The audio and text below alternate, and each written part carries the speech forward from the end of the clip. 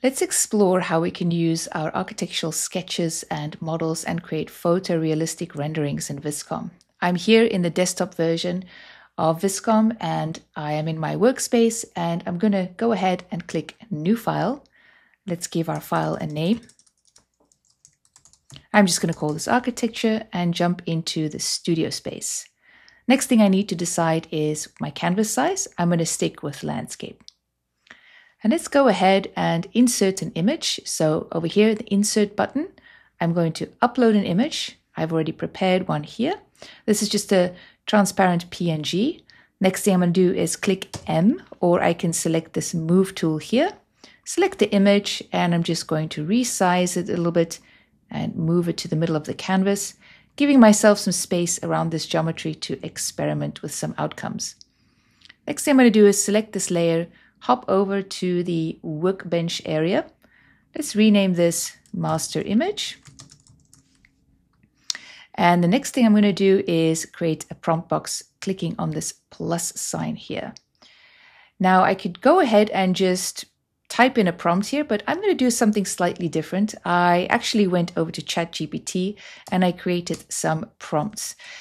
Feel free to pause the video here to have a look at this. But essentially, what I did here is I asked ChatGPT to come up with three different examples. So, three different architectural styles. We have colonial revival, postmodern, and brutalist. And you can see each one of these has different elements lighting, perspective, context, details, post processing, timing, camera, and film stock. So, let's go ahead and just copy this over here go back into Vizcom and paste this in here. Now, the next thing is I am, let me just resize a little bit. I'm going to keep the mode at render. The palette is Vizcom General and the drawing influence is set to 100. Just a note about the drawing influence, the higher this number is, the more is going to adhere to the master image. As I bring this number down, the more creative my rendering is going to become, the more leeway we give AI to sort of experiment. So let's keep this at 100 and I'm going to click generate.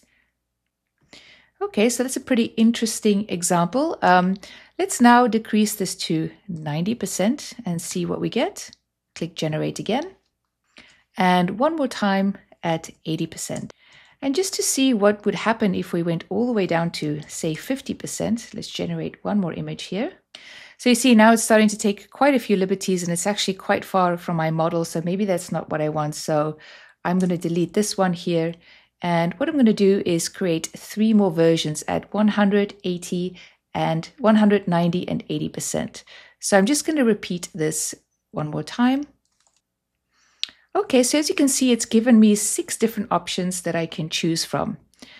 I'm not going to stop there. I'm going to go back to my master image, click on the plus button again, and let's move this down to here. And I'm going to go back to my prompts and let's try something a little different. This time a postmodern building with palm trees and a swimming pool.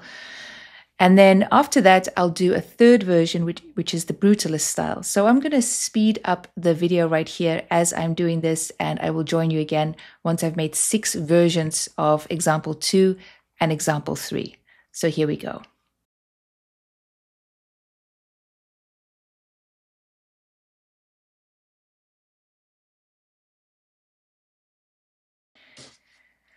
So the next thing I'm going to do is I'm going to sketch in some details. I would like to maybe put in some trees here and here. I'm going to create some pine trees. Maybe let's start with this area here. So the first thing I'm going to do is add a new layer. And I'm going to use, first I'm going to make sure I choose a brush color that harmonizes with the rest of this image. So using my dropper tool, I'm going to come in here and choose a green and use my brush tool and you can see I can change the size. I can also shortcut key S and drag to change my brush size. And you can see there's a couple of other options you can choose here. So I'm going to go ahead and draw some tree tops right now. Okay, the next thing I'm going to do is draw some trunks. So some tree trunks. I'm going to again select a color here. Maybe I'll sample this brown and leave my tool as is, maybe make it a little bit smaller. And I'm going to start drawing the trunks. Okay, so you can see this is pretty rudimentary sketch of some trees, but what I'm going to do now is I'm going to select them using the lasso selection here, and I'm just going to draw a lasso around these trees. And make sure you have this layer selected, and now I'm going to prompt for pine trees on grass. I'm going to lower my drawing influence. Let's start with 80% and see what that gives us and press generate. Quite like that. So I'm going to go ahead and add that. Now you will notice when we deselect Command D that we have a little bit of the background here that doesn't match this background here. So what I can do now is use my eraser tool.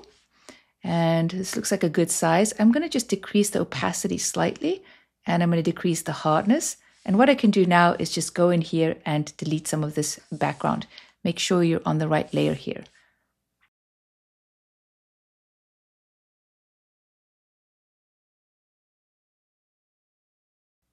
Okay, so you can see I deleted some of that background and now those trees blend quite nicely.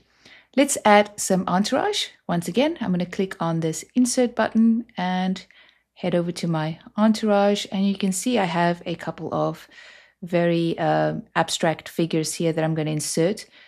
I'm just going to click on this and say open. And let's just drag this above our first layer and use the move tool and scale this down. So now I can select the entourage. I can go into the prompt and I can type in man walking. Let's do this at about 85% drawing influence and let's generate.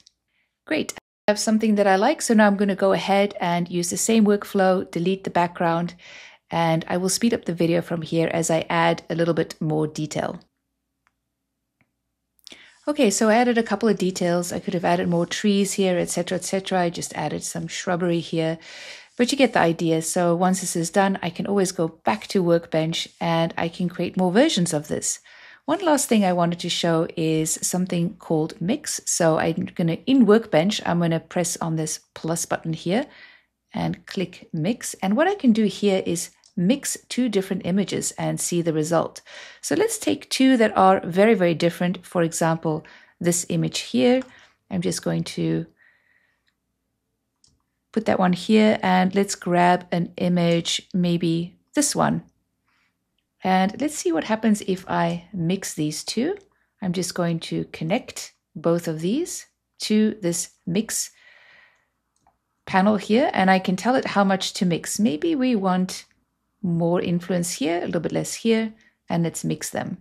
So as you can see, it took these two, and this is the result. I can even mix three images. So let's go ahead and maybe choose this image and let's mix all three of these and let's mix them mix them at the same proportion and see what that brings. So I hope you find this inspiring and that you will create many, many renderings of your own in Vizcom.